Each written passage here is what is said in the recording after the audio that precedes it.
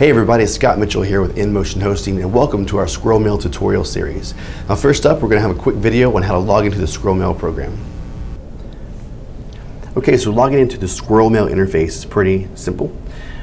There's two ways to get to it with your domain name. You can use webmail your domain name, in this case webmail.customercommunityimh.com, or you can use your domain name slash webmail. So it would be customercommunityimh.com slash webmail. Okay, once you type that in, hit enter, you'll see the webmail interface here to log in.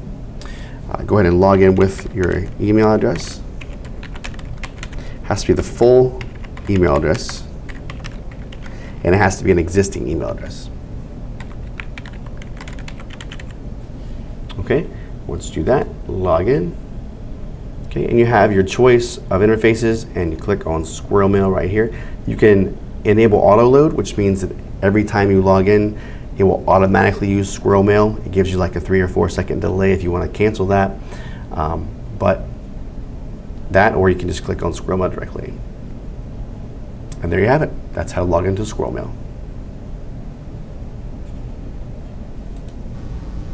Thanks for joining us for another video in our SquirrelMail tutorial series. If you enjoyed the video, be sure to like it and subscribe to the YouTube channel below. Also, don't forget to leave any questions or comments in the comment section below so we can answer them in a future video. Thanks and have a great day.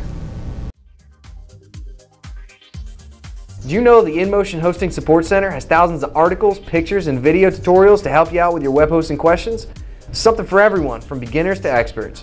Join our community and sign up with your Facebook or Google Plus for free swag, prizes, and discounts. Visit our support center at inmotionhosting.com/support.